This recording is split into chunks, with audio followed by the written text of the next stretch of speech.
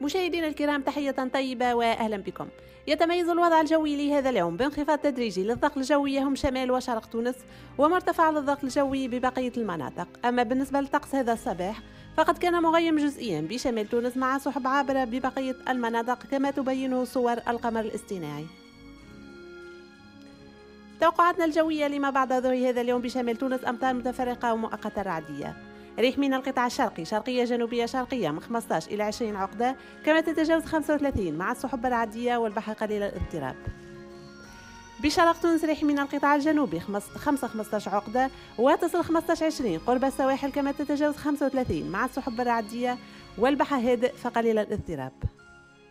بخليج جاب السحب أحيانا كثيفة ريح من القطاع الشرقي 5 15 تتقوى آخر النهار 15 20 عقبة قرب السواحل والبحر قليل الاضطراب أما رؤية فتكون من جيدة إلى متوسطة. بشمال وشرق تونس وجيدة بخليج جابس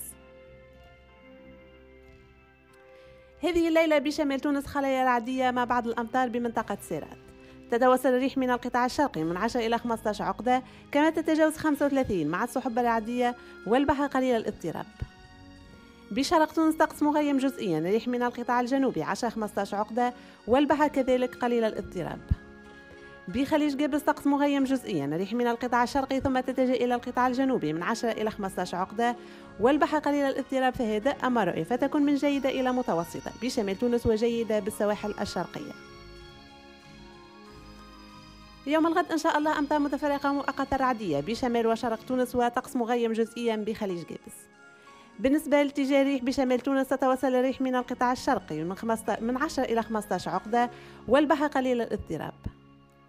بشرق تونس ريح من القطاع الجنوبي 10 15 عقدة تتقوى بعد ظهر 15 20 قرب السواحل والبحر قليل الاضطراب فمحليا مضطرب أما رؤية فتكون من جيدة إلى متوسطة.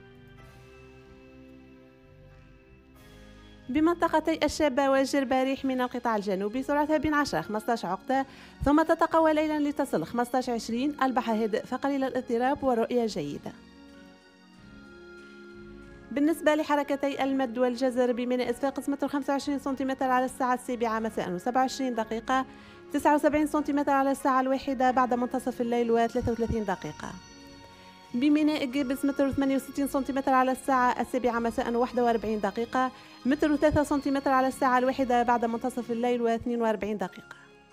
بميناء جرجيس 74 سنتيمتر على الساعة السابعة مساء و30 دقيقة و48 سنتيمتر على الساعة الواحدة بعد منتصف الليل و31 دقيقة. في الختام ولمزيد المعلومات بإمكانكم الاتصال بالموزع الصوتي للمعهد الوطني للرصد الجوي أو زيارة موقع الويب. شكرا على حسن المتابعة والاهتمام وإلى اللقاء.